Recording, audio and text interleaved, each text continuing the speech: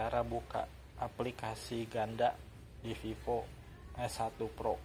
Misalnya kita mau buka Google Map.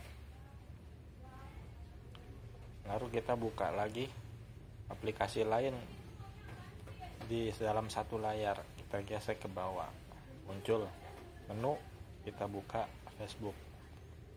Guys jadi kita bisa pakai dua sekaligus nih di Vivo S1 Pro um, bawahnya ini Facebook atasnya Google Map. Jadi kalau kita mau buka Google Map aja tinggal kita tarik ke bawah.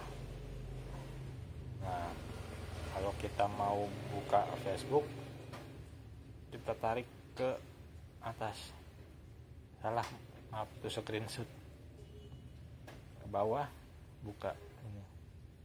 Aplikasi. Kita buka Facebook jadi dua layar sekaligus. Kita ke atasin langsung full Facebook semua. Atau kita bisa juga melalui sini.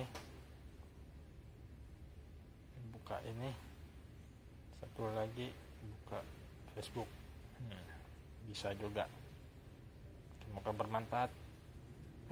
Terima kasih